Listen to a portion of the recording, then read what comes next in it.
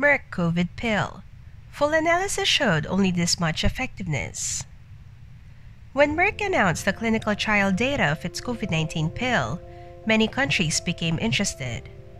The Independent Safety Monitoring Board immediately stopped the trial due to impressive initial findings.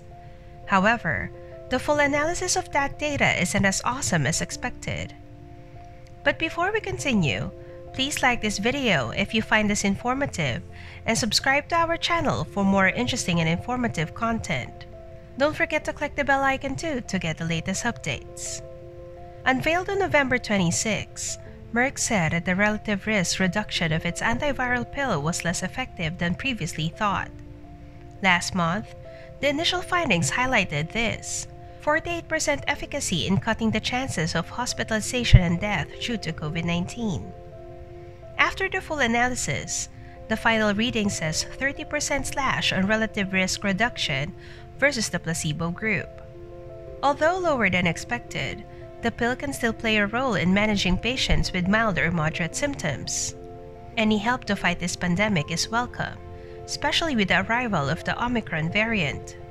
For adverse events, the company said, the adverse event profile for molnupiravir remained consistent with the profile reported at the planned interim analysis. According to Al Jazeera, Merck applied for US EUA for its COVID pill last month using the interim data. FDA has already published documents that an outside group of experts can review, which will decide the fate of the drug in the US. That means the FDA will ask this group for sound advice on whether the benefits outweigh the risk and whether the drug should be authorized with limited capacity.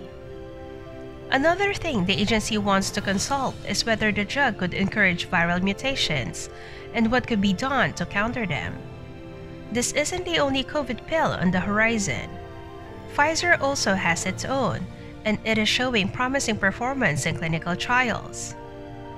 Both COVID pills can be game changers, though there is now a concern if they can stop the new variant from causing another wave. These pills are designed to interfere with the ability of the coronavirus to replicate. The active ingredients are meant to cause errors in the replication process. Are you concerned that Merck's pill is not as effective as initially thought? Were you hyped when it was first announced? Share your thoughts in the comment section. Till our next video, thanks for watching. Thank